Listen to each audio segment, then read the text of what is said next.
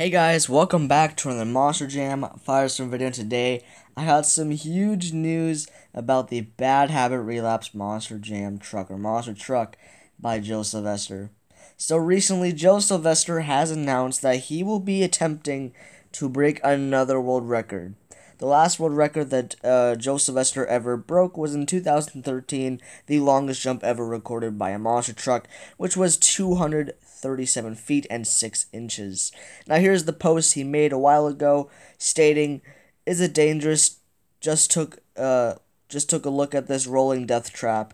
And then here at the bottom, he said, Our final test, well, at the bottom at least, he said, um, Our final test session before the uh, night under fire this weekend at the Summit Motorsports Park went very well today, and we are ready to challenge the speed record, which, of course, you guys can probably tell what he's talking about. Joe Sylvester will be attempting the fastest speed in a monster truck very soon with the Bad Habit monster truck. Finally, after years of Joe Sylvester um, being uh, able to accomplish the world record for the longest jump, broken from Bigfoot, now he's going after the longest, uh, the fastest speed in a Monster Jam truck or in a monster truck in general. And I cannot wait to see how this turns out.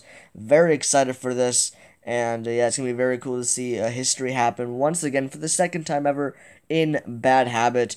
And uh, guys, let me know what you guys think about this little bit of a news in the comments down below. And uh, yeah, best of luck to Joe Sylvester once he uh, finally does this. And uh, yeah, guys. Hope you all enjoyed this video. Please like and subscribe to the channel, and I'll see you all in the next Monster Jam Firestorm video. Goodbye.